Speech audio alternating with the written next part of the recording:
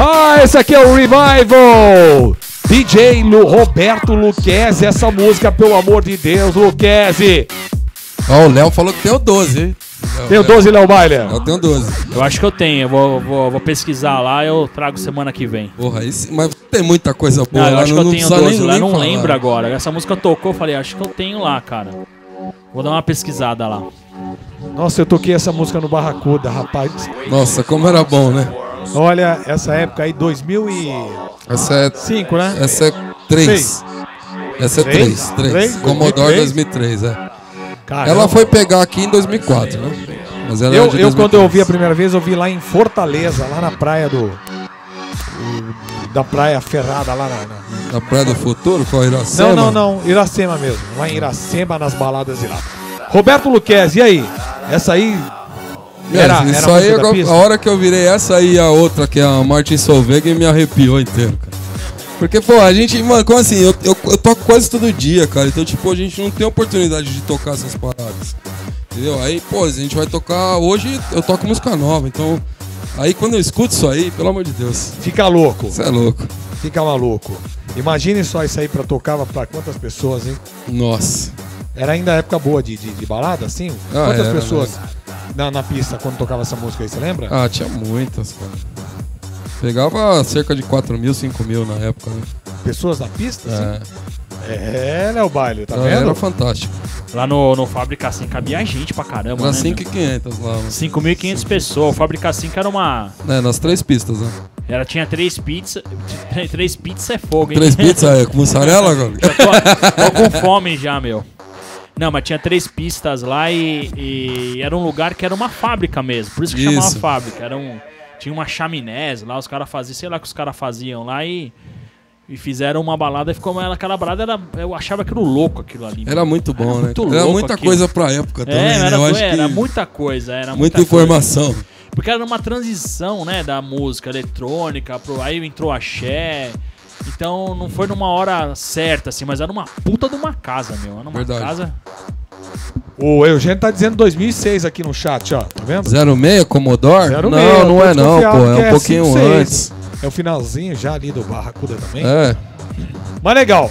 É, vamos mandar um abraço aqui pro Fábio César, Fábio César e Cláudia que tá acompanhando a gente aqui. Aê, galera que sempre acompanha o programa Revival. Um abração pra vocês. Ele tá puxando aqui o ano.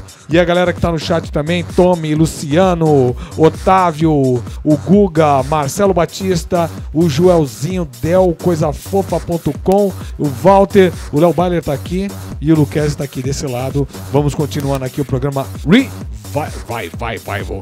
Ô, Luquezzi, algum grande acontecimento nessa época aí que você tava tocando, assim, que você. vo- Você ainda continua tocando? Hoje você toca onde? É, hoje eu toco em eventos aí, tem minha residência no Mavabar lá no Tatuapé, né? E tem isso daí. O que mais você quer saber? Tem mais. Fora os eventos que eu faço, né? Tem Interlagos, tal, tal, tal, tal. Mas fixo eu tô no Mavá. Fixo no Mavá. Ele é o DJ of- oficial, residente do Bar que fica ali na Radial Leste, na conhecida, mais conhecida como Alcântara Machado. Isso, no Tatuapé. ali no Tatuapé, entre a ponte do, do da Antônio de Barros e a Aricanduva. O, o Luquezzi, quando você tocava nessa época assim, alguma coisa que acontecia naquela época e não acontece mais, dá saudade em você assim? Bate uma saudade? Bate pra caramba. Você é louco, tenho muita Ele acabou saudade de mostrar aqui, ó, que a música é de 2004 mesmo. Acho que estourou aqui em 2006, É. mas a música é de 94. Não, 2004, 2004. Beleza? Não, porra, a gente tem saudade, né, cara? Quem que não tem, né, meu? Porque a gente pegou uma par de fase boa, né, Léo? Você também pegou umas fases longinhas lá e tal, né? Foi. É, a minha, minha, a minha fase boa foi nos anos 90, no final dos anos 90, ali nos Anjinhos, que era as festinhas de garagem. É... Mas as festinhas de garagem eu achei a minha pior fase. Foi? Não, a gente aqui. Aqui, aqui Não era é, foda, cara. as festinhas de garagem era foda, bombava, Você mano. quer. Vamos, desanimar um monte de DJ agora? Vai. Que assim, o que, que Porra, eu lembro a primeira vez que eu peguei o metrô e um cara falou: Ô, ô DJ, e aí, tudo bem? E eu achei aquilo do caralho. Falei, É. puta, mano, o cara sabe que eu sou DJ. Só que na verdade, eu- depois a gente vai descobrir que isso é uma merda, né? Porque o cara não sabe seu nome. É. Entendeu? é diferente, o cara é sabe que você é. DJ, mas não sabe quem é você. Pô, é, Aí tipo, é diferente do cara chegar e falar, porra, é o Luquezzi lá, ô Luquezzi, vamos tirar a selfie. É diferente, não é? Porra, Aí você bem- fala, não, aí é outra bem pegada. diferente, né? E a época dos bailes de garagem, os caras sabiam que a gente era DJ, mas tipo, pô, por quê? Porque a gente ficava lá se matando, Ah, sim, montando é. caixa lá, tal. Eu ninguém, ninguém lembra, não. O, Rica, o cientista, o, Ri- o Ricardo, eu fazia festa. eu fazia festa com, com, com o cientista, que é o Rick Ville. Quem conhece o Rick Ville aqui do canal DJ, o nome dele era cientista. O cientista era conhecido pra caramba. É, era, né? Porra, meu. O Elinha também era DJ, famoso. cien- ó, o, o, o, O Elinha era, o o DJ era cientista foda, era mano. iluminador do Ilinha. Era iluminador, fazia. Eu conheci o, o, o, o cientista na festa da- do Guilherme, quando ele. A iluminação pendurada com fita isolante, descolando, culpado do calor. Você é louco, pra gente, Eu falei, olha, pra gente que que falar é com o Elinha nessa época, a gente ia pegar é, o fila, Ilinha, o Ilinha era, era, era fila, famoso pô. pra caramba, é. O Ilinha era famoso nessa época aí, as bailes de garagem, aí o cara era o, era o primeiro da linha. É. Colocava Mark Mark no, no Não, chinelo. ninguém falava o DJ, o DJ da Warrior, né? Não, Não. não, é o Ilinha. Era o Ilinha. Então, é isso que eu tô te falando, é aí que tá a É diferença. isso aí. É o cara saber seu nome, não saber que você é DJ. É isso mesmo. Isso, isso é legal. É verdade, mano. É onde muda, né? Onde muda a transição. Porque, tipo assim, na, na festa de baile, de garagem, essas coisas, meu, eu detestava carregar caixa, cara. Eu não via a hora de eu falar assim, puta, eu preciso entrar em algum lugar que eu só vou levar meus discos. Entendeu? Mano, Eu já, já era diferente, eu gostava de montar. Cara. Não, eu mano, eu detesto aquilo, até mano. hoje. Se, se me chamar, eu só, iluminação. só se for muito amigo pra me ajudar, É. cara. Senão, Eu adorava a iluminação, pendur, pendurar a iluminação. A gente fez uma festa no, no Catalana, gente, eu coloquei mais de 300 buchas na parede, mano. A parede toda. Você virou um queijo. Eu peguei a bola maluca dele de 50 quilos, sei lá que desgraça. e aquela porra, eu falei, mano, não vai ficar bom, cara. Isso aqui vai caber, cair na cabeça de alguém, vai matar um aqui, mano. Mas eu prendi, meu, furava as paredes. A gente podia fazer isso, né? Agora você vai nos buffets aí, né? Tem que colocar, não pode nem pôr uma fitinha, senão arranca a tinta, né? É, então. É, é, mudou tudo, hoje mudou tudo. Mas mudou tudo. É por isso que eu tô te falando, não tenho mais paciência pra isso. Eu gosto de ir tocar, passar, receber e ir embora. De verdade. Não gosto de ficar montando. Hoje eu não consigo mais. Ô, ô Luquezzi, então o negócio de carregar caixa não era com você. Tá bom, deixou pra nós, carregamos muito e tal. pra nós o caramba. É. Deixa eu te fazer uma. Então, dessa época que você tocava assim, desse começo, do- da década de. Ali de, 90, nos 90. anos 2000, 2000 90. até 2010, do- 90, essa transição toda. O que, que você acha que, que, te dá saudade pra, pra, pro que é hoje, assim? De diferente, assim, que te, te deixa saudoso em lembrar? Eu tenho muita, muita saudades de várias coisas e não, e não tenho saudade de nenhuma e outras coisas, né? Nenhumas não. Não tenho saudade de outras coisas e tenho muita saudade de outras coisas. As coisas que eu tenho saudade, a pista fantástica. A pista recebia tudo que você fazia. O tipo de mixagem que você fazia, se você errava, se você acertava, se a música era boa, se a música era ruim, a pista sentia. Hoje não. Hoje Hoje não sente. Só que eu não sinto saudade da época financeira, daquela época lá que ela não, não dava dinheiro. Ho- Hoje o DJ é mais, é mais valorizado do que É. naquela época, né? Naquela época pra dinheiro era osso. É, a gente o- tinha que trabalhar pra caramba a semana toda, né? O Cadico, o Vadão disse, né, que a gente tem que agradecer ao, ao Mark por conta da valorização do DJ, né? Verdade, verdade.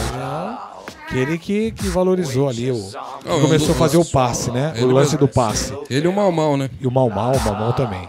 Bacana. E aí nessa época que você tocava essas músicas que a gente. Já, já preparou o próximo set aí ou não? Tem mais? Tem mais um setzinho aqui ainda, quero ir Oh, embora não. Tem uma tocar mais. pasta aqui escrito Revival. 20 mi- 20 minutinhos aqui, eu quero saber por quê, onde, por onde. Você se incomoda quando você to... alguém pede música velha hoje, assim que você tá na sua pista? Não, cara, se a música é boa, pra mim a música não tem idade, cara. Tem idade. Eu não, não considero a música velha, eu considero música ruim e música boa. Tem música velha, tem música nova. Um Commodore como esse aqui encaixa na sua pista de ouro tranquilo. fácil, fácil. Eu toco às vezes Dave Spoon, cara. Música de, de 96, toco na pista hoje a molecada pirando, não sabe nem de onde é. então. E é uma puta música. Show. Show de bola. Luquezzi aqui, Roberto Luquezzi hoje no programa Revival Léo Bailer. As informações da- do trânsito, Léo Bailer. Não, o trânsito agora deve estar bom, né? deve estar bom essas horas, meu. Se tiver trânsito aí, pelo amor de Deus, vai embora pra casa. Ó, cara. já que tem mais um set, eu vou abrir com uma música aqui que só quem frequentou essas baladas conhece essa música. Essa Lembra- música aqui, até hoje eu não acho Não acho, você não tem, você não tem. Eu, não, o Eli eu não sei, mas o Léo não tem. Será que eu não Ó, tenho? MD Production. Esse som aqui só quem curtiu a época que vai lembrar. Essa Não. música é de 2002. Putz, estourou, mas nas baladas. Posso não tocou em procurar no rádio nem lote. nada, mas muito bom. Se procurar, eu pago um dinheiro nesse disco aí. Vamos lá. Lembrando que, que domingão tem. Não nesse domingo, agora no outro domingão tem Piper. A festa da perereca lá do Roberto Luquezzi. Vai estar tudo galera lá, né, Luquezzi? Quem que vai Vamos. estar lá no line? Lá? Ah, não, ele era pra estar, mas ele não quis, né, mano? Meteu a mala, mano. Né? É. Tô legal. Ele era pra estar no Mas line. isso aí não, mas o line tá bem bacana. Tem 12 DJs nessa essa edição aqui. Tem, tem atração pra dar com pau aí. Tem bastante gente lá. O, o Barry vai estar Barre tocando. tal, Fábio San. Fábio San. Olha Tem um aí, monte, cara. um monte mesmo. Toca do quê? Toca tudo? Lá toca de tudo. Toca de tudo? De tudo. Bacana. Lá rola de tudo. Lá é música boa sem idade. Ô, ô Luquezzi, a última pergunta antes de abrir o set aqui, que a gente já vai abrir ali, o setzinho do Luquezzi. Você tem algum preconceito com essa. esse- os DJs que estão tocando, que tocam atualmente, não gostam muito de tocar música antiga. Você.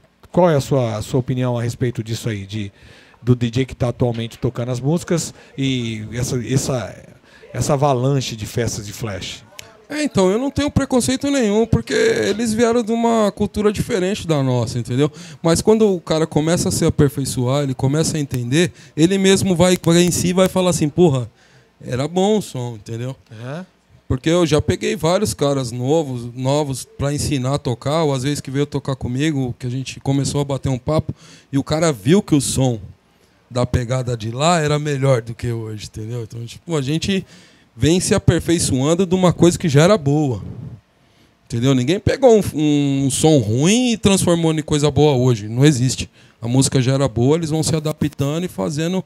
Tanto que as músicas de hoje, se você ouvir uma música de hoje e ouvir uma de 95, é quase a mesma coisa. Quase a mesma coisa. né? Entendeu? Não, os caras mudam E- alguns e de- elementos. E a Tal. 95 pegou da, da, da 70, 80. É, né? então, e é assim que funciona. A música ela vai se adaptando, ela não vai mudando, ela se adapta. A, a música é um verdadeiro sample.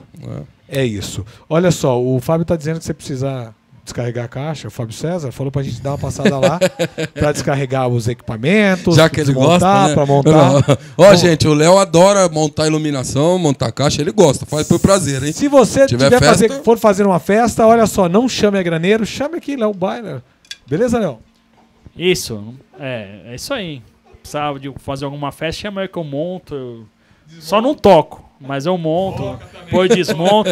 É isso aí, pode chamar aí. Toca, toca pra eu caramba. gosto de montar iluminação, eu adoro meter a fumacinha lá. Te falei que eu fazia nos anjinhos lá, eu adorava, colocava aquelas luzes negras, puta, era muito louco aquilo. Aí eu pegava papel sulfite e picava um monte, assim, jogava no chão, parecia umas Pra dar uns brilhinhos, é. Parecia... Aí o pessoal Não, chegava. eu já ficava- vi muito isso aí, mas hoje- fazia naqueles furador, né? Aí pegava aquelas não, bolinhas eu e rasgava jogava. ele, rasgava bem picadinho. Você tinha a manha de ficar cheio de rasgando um. O pessoal ia entrando na balada e ficava olhando ali, ficava chutando né, os papelzinhos, mano. Né? Era No legal, final virava legal. uma lama. É, boa ideia. E no final virava uma lamaceira, né? É, porque era uma suor, era uma desgraça. Depois pra limpar, limpar era com nós também. né? Vamos nessa, gente. Vamos mais um setzinho aqui. Vamos ali, Léo. Vamos lá cortar ali pra começar o próximo set. DJ Roberto Luquezzi, aquele cara que tá aqui todos os sábados a partir das 18 horas. Hoje ele está na quinta-feira aqui no programa Revival e vai fazer agora. Corta?